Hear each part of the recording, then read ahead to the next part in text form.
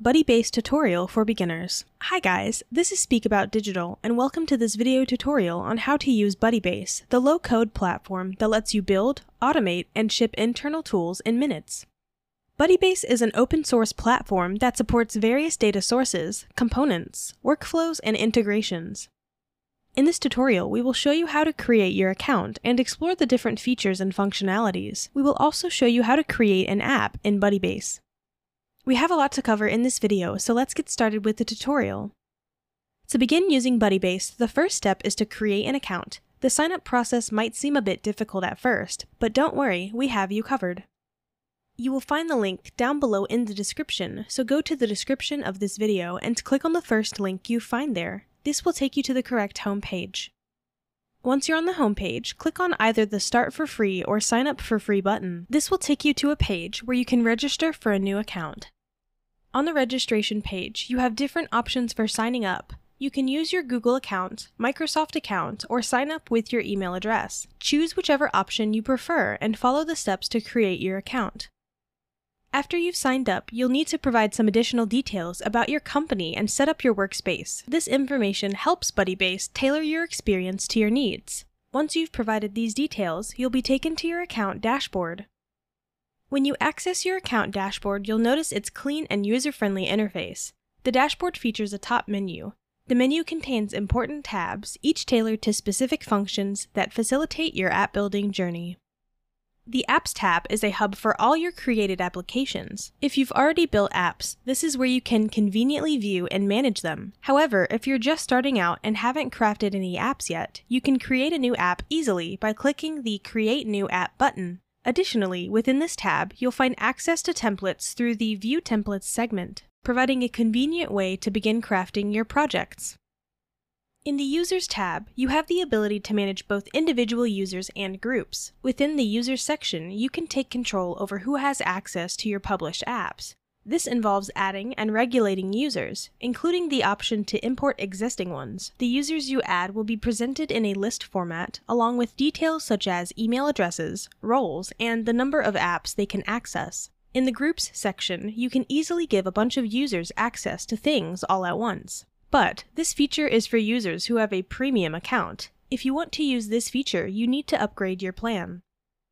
The Plugins tab serves as a hub for managing your plugins. Here you can control the plugins associated with your account. This includes the option to incorporate your own custom data sources and components tailored to your specific needs. To integrate a new plugin, you simply need to click on the Add Plugin button. Moving on to the Settings tab, this area provides you with comprehensive control over the configuration of your account. Here you can manage various settings, authentication preferences, email configurations, organizational details, branding elements, and the environment within which you operate. The Settings tab offers a centralized space to customize your dashboard experience to align with your preferences and requirements. The Account tab is designed to manage and monitor your account related information, this encompasses the ability to monitor your usage patterns, review audit logs to track activity, and even explore the option to upgrade your account to a premium membership level. The Account tab ensures that you have a clear overview of your account's status and activity, with opportunities to customize and elevate your account as needed. The Profile section is located at the top right corner of the dashboard. It provides direct access to personalization options. Here you can handle your personal profile, customize themes, update your password, view your API key, exit developer mode, and log out from your account. Now, let's see how to build an app in Budibase. To create an app in Budibase, you'll need to follow these simple steps. First, navigate to the top menu of the dashboard and click on the Apps tab. Once you've logged in this tab, a list of all the tabs you've previously built will be displayed. To start creating a new app, locate and click on the Create New App button. This action will redirect you to another page with a range of options for app creation.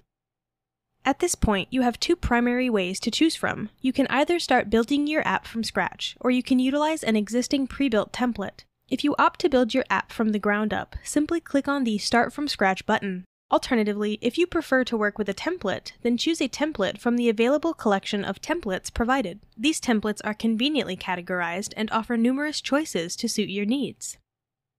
For this tutorial, let's scroll down and choose a template called Client Contact List. Hover over this template and you will see two options appear, Use Template and Details. Select the first option, Use Template, and proceed by clicking on it. A pop-up window will emerge. Enter the name of the app by replacing the default template name, which in this case is Client Contact List. Feel free to enter a new name and adjust the URL as desired. Once these modifications complete, then click on the Create App button after that, you will be directed to the editor where you can further customize the newly created app to align with your preferences and requirements. Once you've entered the editor, you'll notice that the editor is divided into different sections. These sections are Data, Design, Automation, and Settings. Under the Data section, you have the ability to modify and manage the data within your app. In the context of our chosen Client Contact List app, the data fields could include email addresses, first names, last names, roles, and statuses. Within this section, you can not only make changes to existing data, but also introduce new fields and populate them with relevant information. For instance, if you wish to add a new table, navigate to the left side of the screen and click on the Add Source button. This action will lead you to a page offering various options to enhance your template. Since we're aiming to create a new table, select the Create New Table option. Following this, a pop-up window will appear, prompting you to enter the table's name. So enter the name of the table and then click on the Create button. After this, you will see that the table will now be created. Once the table is created, it will be empty. To begin adding columns to it, click on the plus icon. A pop-up window will emerge, allowing you to input details for each column. Specify the column name, set the maximum length, and toggle the required option on or off based on the column's necessity. After making these selections, click on Save to add the column. The column will now be added to the table. You can repeat this process to create as many columns as needed. Once the columns are created, simply click on each of the columns to input relevant data, such as emails, phone numbers, and roles. Moreover, you have the option to enhance your table's functionality by incorporating filters, sorting mechanisms, and column visibility adjustments. These features can be accessed at the top of the table, providing you with greater control over the presentation and manipulation of your data. In the Design section, you can reshape the visual appeal and layout of your app. Within this section, the left panel provides a range of options to facilitate this customization. Firstly, you can manage screens, allowing modification to existing screens or the addition of new ones. Secondly, the management of components offers the ability to handle both existing and newly added components. Thirdly, you can tailor the app's theme to align with your vision. Finally, you can modify and customize the navigation layout. Moving on to the automation section, this is where you can integrate automation features into your app, enhancing its functionality and user experience. The Settings area grants you control over various configurations, including automation history, backups, embedding options, export settings, app name and URL, versioning, and the option to delete the app if needed. Once you have customized the app and transformed it into your unique app, it's time to preview it. Head to the top right corner and click on the Preview option to experience the app from a user's perspective. If you're satisfied with the results, take the next step by clicking on Publish. A pop-up window will appear, allowing you to adjust the app's link as desired. Once the link is modified, proceed to click the Publish button, officially launching your app online and making it accessible to users. And there you have it, a beginner's guide to using Budibase.